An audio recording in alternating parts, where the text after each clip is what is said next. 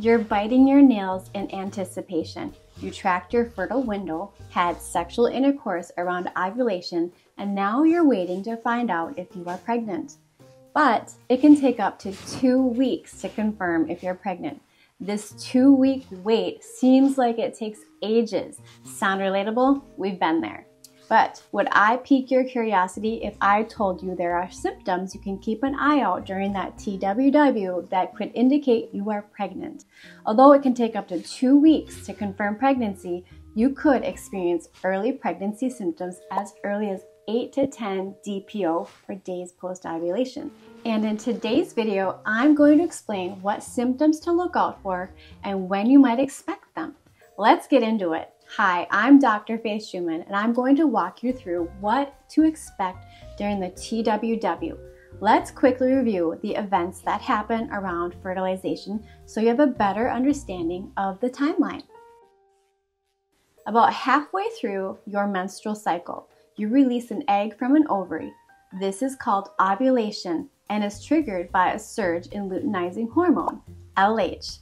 The egg can be fertilized for up to 24 hours after release. Once ovulation is over, the follicle that released the egg leaves behind a structure called the corpus luteum, which secretes progesterone.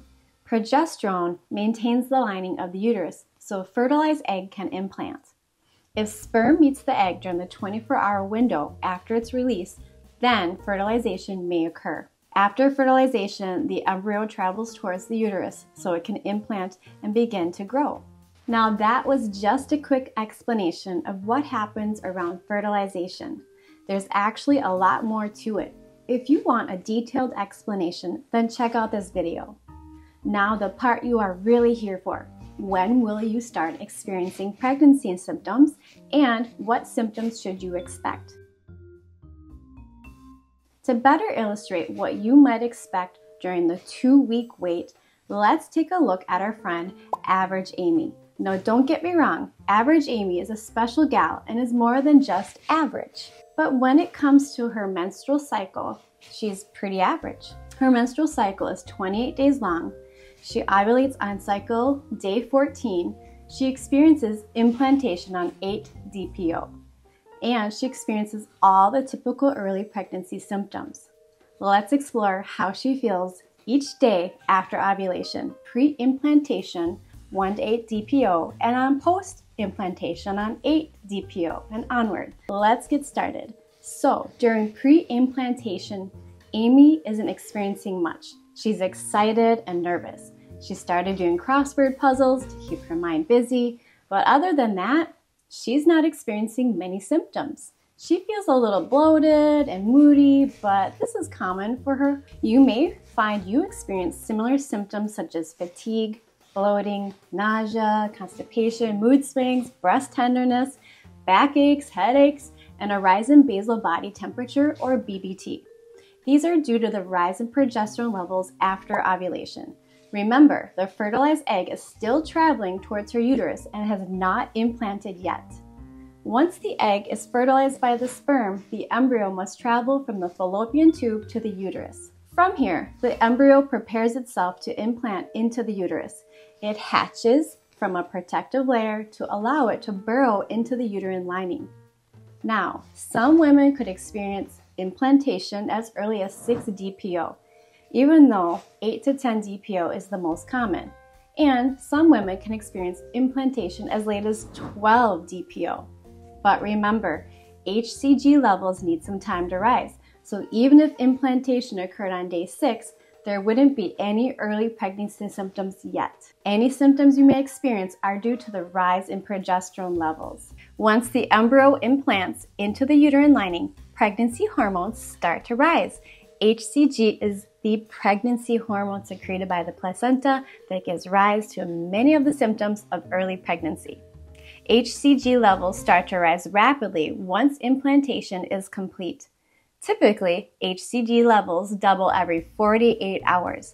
Let's break down what Amy experiences during and after implantation. Amy initially thought her period was coming early because she started cramping. The cramps were located in her lower abdomen and felt like a dull ache. But then she went to the bathroom and noticed some spotting in her underwear.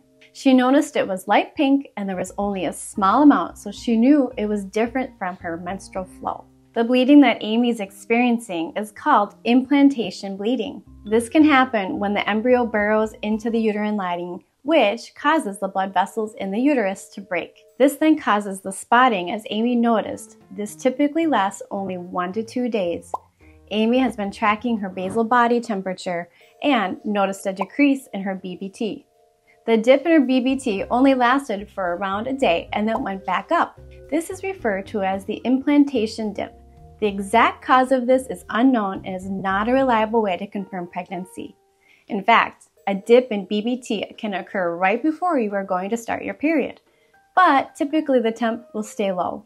Amy also notices that she's more tired than usual, has to pee a lot, her breasts feel tender, her tummy is hurting, she thinks she might be constipated. She can't stand the thought of even eating her favorite foods, and she can smell a trash can from a mile away. Amy got super excited about all these symptoms, so she decided to take a pregnancy test 10 DPO, but she was bummed to see she got a negative result.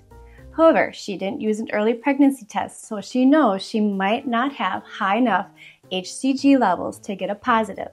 She's going to wait a few more days and test again. Amy experienced implantation on day 8 through 10, which is ideal. Implantation after 10 DPO is considered late implantation. Attempts of implantation outside of 6 to 12 DPO, which is called the window of implantation, increase the risk of miscarriage. But Amy's pregnancy is thriving thus far, and she's beginning to experience even more symptoms as her HCG levels continue to rise. After 11 DPO onward, Amy is feeling more convinced she is pregnant. She's got the classic morning sickness, but was surprised to find out that nausea and vomiting can persist throughout the day and isn't just in the morning. She's feeling a bit more moody than usual and noticed her areola, the dark tissue surrounding her nipple, has darkened. Since Amy received a false positive at 10 DPO, she decided to wait until the first day after her missed period, 15 DPO, to test again. And guess what? She got a big fat positive. Yay! Amy's journey is a great way to give you an idea of what you might expect, but it's important to know that your journey may look completely different. You may not have any of these symptoms and still be pregnant. In fact, you would be in good company if your first symptom is a missed period. Many women don't experience pregnancy symptoms until a few weeks into their pregnancy. It's also possible that you are pregnant and receive a negative pregnancy test. Remember, when Amy took a pregnancy test at 10 DPO and got a negative test, this is because it takes a little while for HCG levels to rise. If you take a test too early, if the test is not sensitive enough, you will receive a false negative result.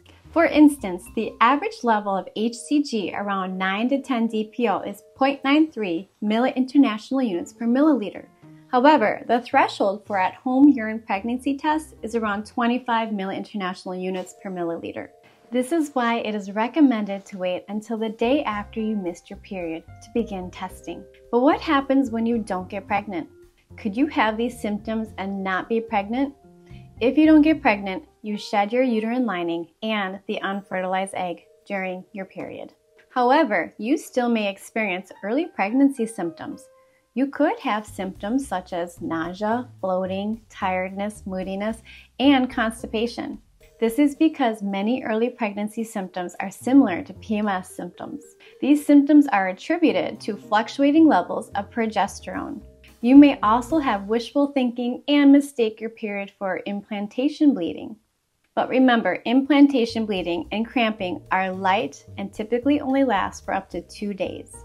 Implantation bleeding differs from menstrual bleeding because it is usually light pink or brown. All of this information we've covered so far is good to know, but it won't be overly helpful to you if you don't know the day that you ovulated. To calculate DPO and know what symptoms you might expect, you must know the day you ovulated. How will you know if you're at 8 DPO and in the window of implantation if you have no idea when your ovulation day was? The best way to track your menstrual cycle and reproductive hormones is by using the Inito Fertility Monitor. This monitor is more than just your average fertility monitor. Inito is one of a kind because it not only helps track your hormones to determine your fertile window, but it can help you confirm ovulation. How does it do that? Well, Inito tracks estrogen and luteinizing hormone, LH, to help track ovulation and your uterine progesterone metabolite, PDG levels, to confirm ovulation. When you use Inito to get actual numerical values for your hormones, these values are then plotted on a customized hormone chart that makes it easy to track and trend your reproductive hormones. Using the Inito Fertility Monitor is a no-brainer if you want to become pregnant. If you want to make tracking your cycles easier to boost your chances of becoming pregnant, use the code STARTERKIT15 to get an extra 15% off your purchase. I know the anticipation during the two week wait is almost unbearable, but I hope the information in this video can help put your mind at ease. If you have any other questions about the TWW that you would like for us to answer, please drop them in the comments below. Also, if you like learning about fertility and reproductive health, please consider liking the video and subscribing to the channel. And don't forget to head over to Instagram and follow at Inito Fertility for more fun and educational content like this. I'll see you in the next one.